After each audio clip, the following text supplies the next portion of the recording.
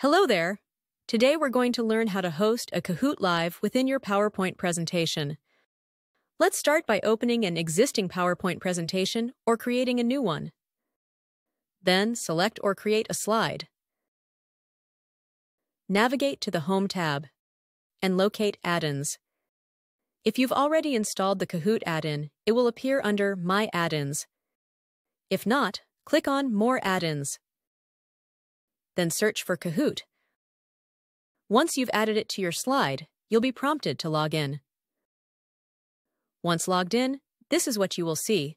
You'll be asked to add a link to the game you'd like to embed.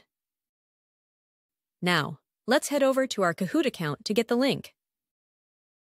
Access the library. If the Kahoot is public, simply click on the three vertical dots. Then select the Share option. Here, you'll find the link that you can copy and paste into your PowerPoint slide. But what if your Kahoot is private and your plan doesn't allow you to make it public? No worries. Click on the private Kahoot to access its details page. And simply copy the URL from the address bar. Now, head back to the PowerPoint presentation and paste the link.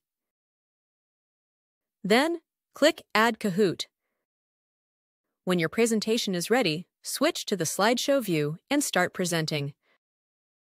Go through your presentation as usual. When you reach the slide with your Kahoot, you'll be hosting the game directly from the Microsoft PowerPoint presenter view. Simply click Play Kahoot. If you can't see the QR code or the PIN code, the window is likely too small. At any time, you can exit the presenter view and enlarge the window. That's all.